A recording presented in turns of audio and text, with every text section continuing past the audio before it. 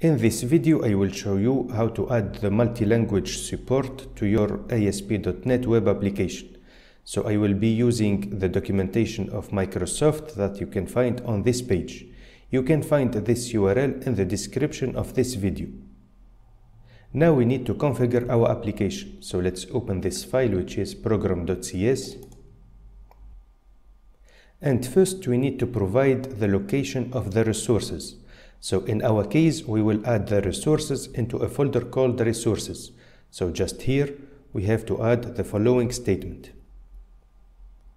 So later we have to create this folder and inside this folder we need to create our resources.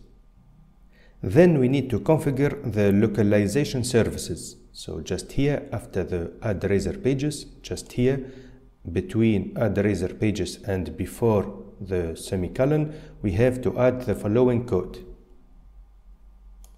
And here we have an error, so we have just to add the corresponding namespace, which is the first one. Then we need to configure the localization middleware. So just after this statement,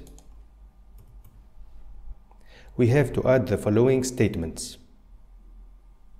So here our application will support these two languages. Of course, you can modify them and you can add other languages. So this is all for this uh, file. We can save it and let's close it. Now let's create a new Razor page that allows the user to change the language. So we can create the new Razor page in the Pages folder.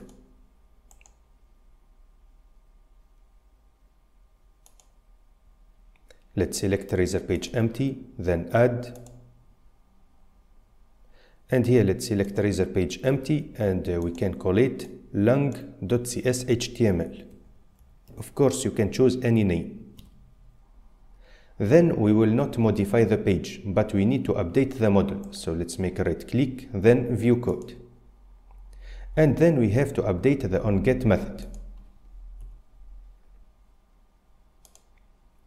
So here we can see that we have some errors. So let's add the corresponding namespace. So first of all, we will read the requested language. So we suppose that in the URL we have a parameter called culture, and culture here is the requested language. This statement allows us to print the requested language on the console. This can be useful for any debugging purpose. And if the requested language is not null, then we will update the cookie. So our application will save the requested language into a cookie and like this it will remember what is the requested language of the user. And here we can see that we will save the requested language into the cookie. Then we will read the URL of the previous page from which the user requested to change the language. And we will redirect the user to the previous page. Now let's save this file and let's close it. Now let's add a drop-down list in the navbar of the application to allow the user to change the language. So we have to go to the shared folder and to open the layout file. And after this UL element, we will add a new UL element that contains a drop-down list.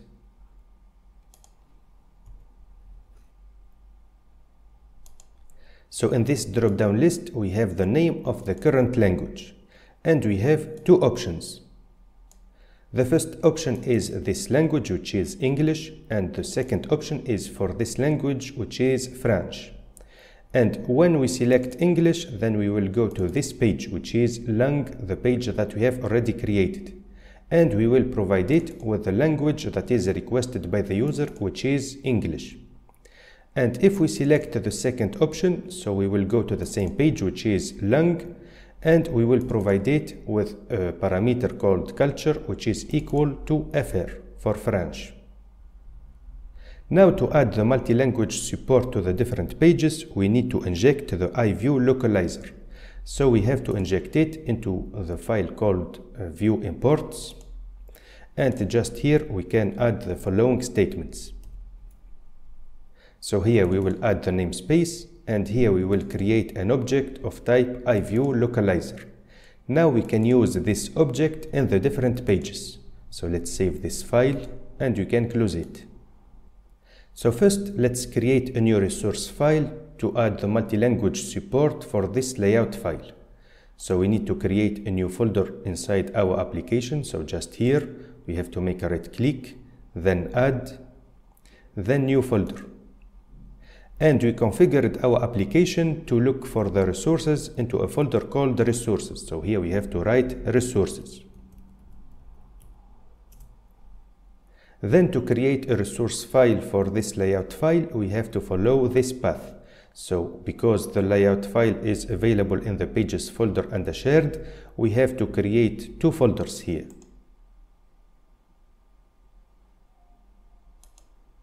The first folder is called pages. And the second folder is called shared.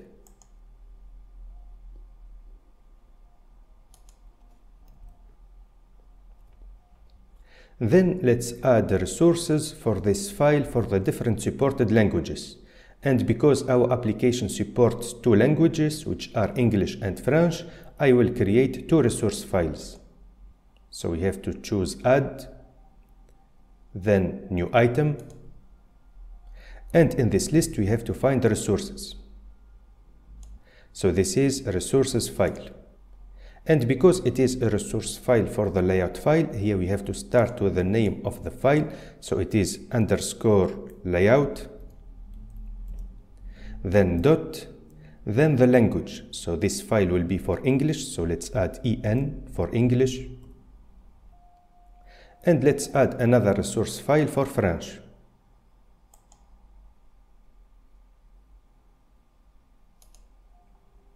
So it is a resource file. It is for the file underscore layout dot then the language which is French. So let's write FR let's press enter. So here we have these two resource files. Let's go to the layout file and let's display the name of this home item so let's delete this name let's add at then the name of the object that we have injected which is localizer and between brackets we have to provide the name of the resource. So here let's suppose that we have a resource called home. Now let's define this resource into the resources files. So here let's define it. It is called home. And for the French version, we have to provide it with a value. Now let's define this resource in the English version. So here it is home and its value is home.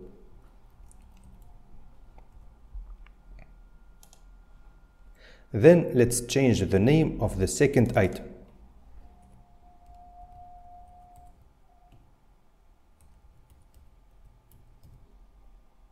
Then let's define this resource.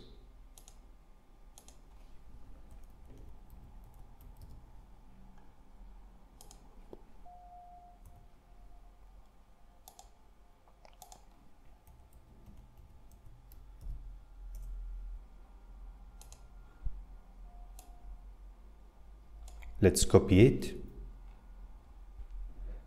and let's use it just here. Now let's save these files and let's close them. Now let's add the multi-language support to the home page. So the home page is available in the pages folder and is called index.cshtml.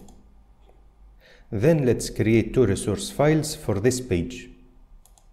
So this page is available in the pages folder. So we have to create the resource files in the pages folder of the resources folder.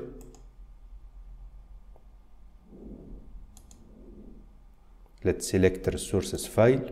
And here the name should be the name of the Razor page, which is index dot the language. Let's create another resource file.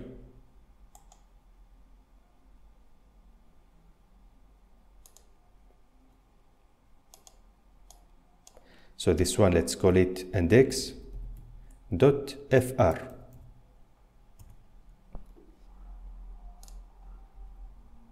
Then let's display the title. So let's delete this value. Let's add localizer. and the name of the resource which is let's suppose title of course we need to define it so let's go to the resources file here let's define the title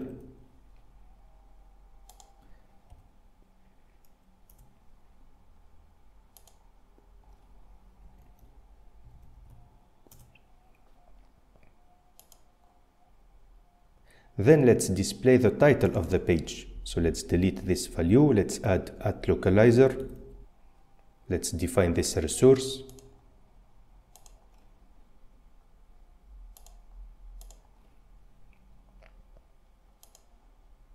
Then let's display this paragraph. So we can cut this paragraph and let's replace it with at localizer.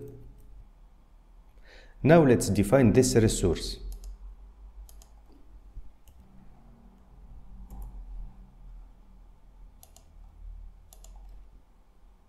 Now let's save the files and let's test the application. So now the application is displayed in English and here we can see that we have a drop-down list with two options, English or French. Let's select French and now we can see that the page is displayed in French.